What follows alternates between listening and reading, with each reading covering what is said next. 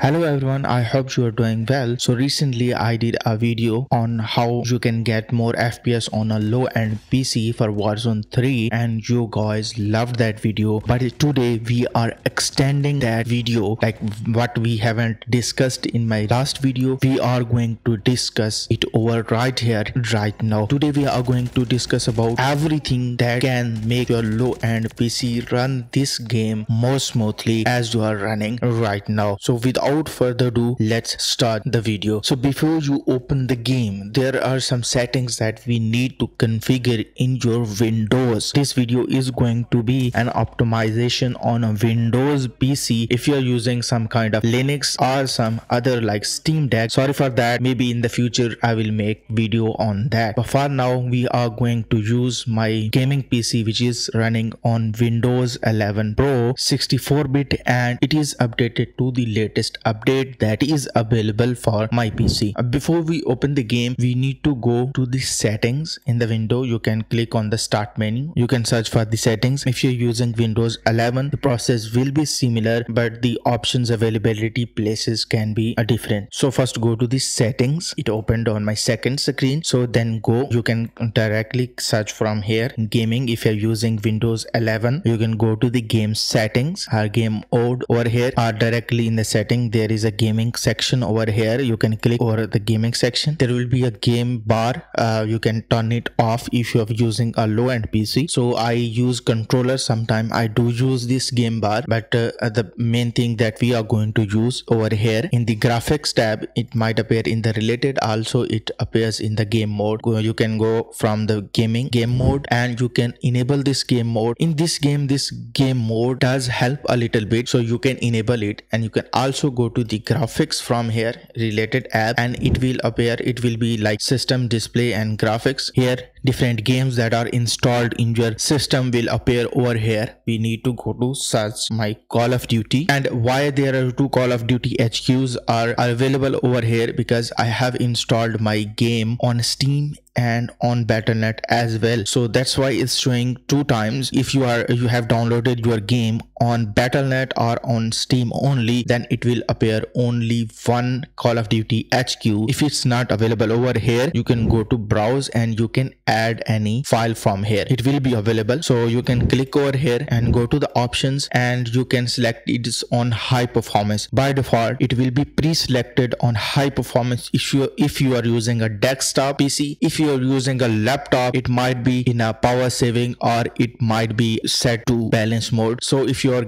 want to get more fps just click on the high performance mode. And as you can see this this shortcut is from the steam version of the game and this is from the battle.net version of the game. Don't worry the process will be same. Why i have installed the two version? There is a very simple reason behind this. There we had a texture issue on the steam and we don't have a texture issue on a battle.net so i do play on the battle.net as well and i do play on the steam as well. You just want to play warzone and download it on the battle.net it will be more life-saving if you're not using any kind of ssd all right you are pretty much done over here. So next thing is we need to optimize your cpu usage. And already i have made a video on this particular topic. If you haven't watched that yet please go and watch that because that is going to be much handy for cpu so i suppose you have already watched that and you have done that steps correctly. The link for that video will be in the description down below and it will appear over some in in the cards as well. And the next thing that we need to do is related to call of duty configuration file. Don't worry i will not tell you something that can break your system or that can break your game. Don't worry about that. Every steps are safe and you can apply. Personally i already had applied these and i'm getting really really good results. So next step is you need to go to the file explorer. You can go from the this pc or my pc if you are using windows 10 so you can go from here. If in case this icon is not available over here go to the start menu and search for explorer and it will be file explorer.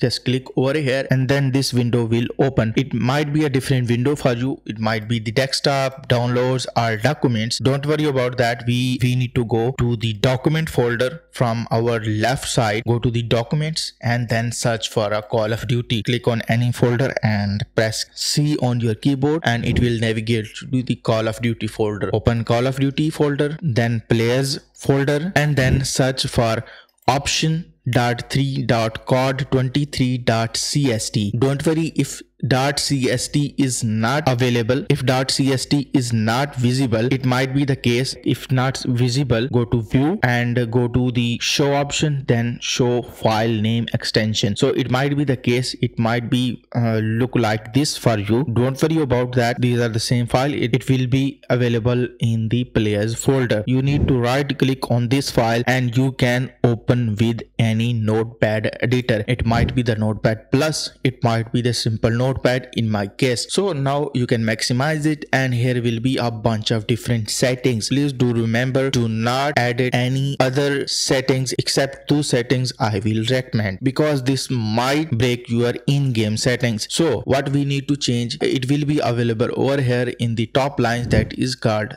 thread count for handling the job queue or that will be labeled as render worker count. It will be in the parentheses. For myself it was previously mentioned as 4 now what you have to put over here it depends on your model of cpu for example i'm using ryzen 5 5600 so you can search your cpu model on the google and you can go to the manufacturer website. I'm using an amd cpu ryzen 5 5600 let's go to the amd website and here are the specification. We are going to check out two things. Number of cpu cores. It has six cpu cores and number of cpu thread. Remember my cpu ryzen 5 5600 has six cores and 12 threads. It might be the case if you're using intel for example i5 12400f if for example if you're using an intel you can search over here and you can go to the intel's website and you need to check two things number of cores and number of threads so we have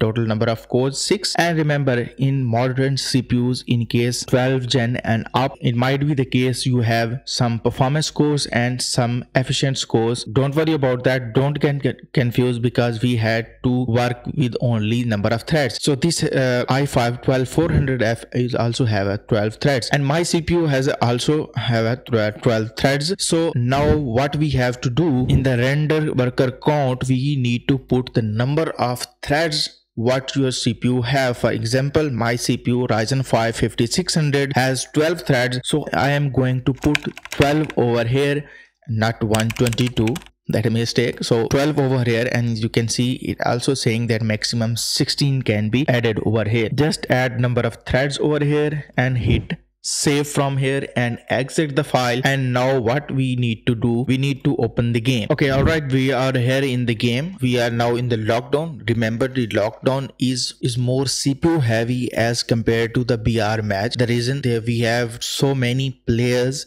congested in a very small space a very small map. So it became very cpu heavy. And remember i'm using the gtx 1660 super. It is the low end card nowadays and it with a 6 gb vram i'm using ryzen 5 5600 with it and i'm also recording on the same pc if you are using same setup you will get more fps the reason behind i'm also recording on the same pc so in every condition you will get more fps as compared to mine over here. Okay we are at the safe spot again. So let's camp over here and let me show you graphics quality setting. For the preset i do go for the custom so i can customize these settings. For the render resolution it will be your monitor's native resolution. In my case i have a 1080p monitor so i put i have put the render resolution to 100 percent dynamic resolution off. And for the upscaling you want to get more like if you want to get more clarity to use the fidelity fx CAS i am using it 100% but if you want to get more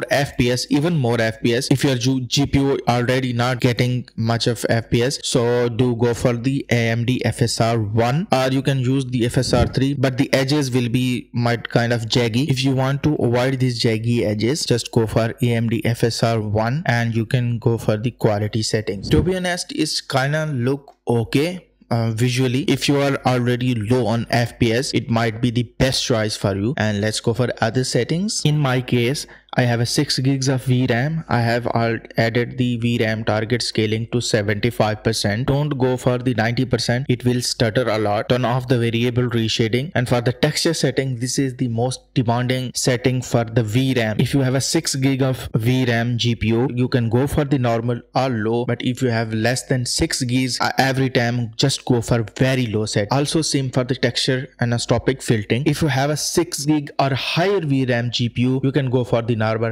Ultra and if you have a less than 6 gigabyte of VRAM just go for the low setting. The depth of field is off and details quality level the same thing. If you have a 6 gigabyte of VRAM for your GPU go for the normal or low. If you have a less than 6 gigs every time go for the low settings and for the particle resolution for the average GPU for the low bullet impact it is personal preference. You want to see the bullet holes like this you can enable the bullet impacts. For the persistent effect you can turn it off. Shader quality set to low. On demand texture streaming turn it off. Shadow quality low or you can go for the very low. Screen space shadows off. Ambient occlusion off. Screen space reflection is also off. Static reflection is off. And these are the some following settings you can turn it off. And in the graphic setting for the display mode i was using the full screen borderless but you can go for the full screen exclusive mode. It will help you to reduce a little bit input latency as i'm using multi-monitor setup and i was recording. So i do play at full screen borderless. And also for the laptop users who are struggling with the fps or with the stuttering so i will highly recommend and they can tune down the resolution from 1080p to 900p believe me. With 900p the games will look fine on a laptop or like on a 15 inch or 14 inch uh, small screen. Whenever you do change any setting in the game do not forget to restart your shaders. More most importantly if you have changed the shader settings do not forget to restart the shaders. So how you can restart the shader? Go to the settings go to the graphic setting go to the display tab and at the top section probably you can see the restart restart shader loading. Just click over here and i click on the restart and close the game and open the game again. Once you open the game again it will restart the shader and it will optimize the shader with respect to new image quality or with respect to new graphic setting you just applied. And it will help you a lot with avoiding stuttering and game lag. So now how we are going? And we are getting about the 10105 as an average even i am also recording game on the same gpu do let me know what improvements do you got with these settings and did it helped with your game stuttering or something or not? If you like this video just hit a like button. If you don't hit a dislike. We will be meeting you in another video. Till that bye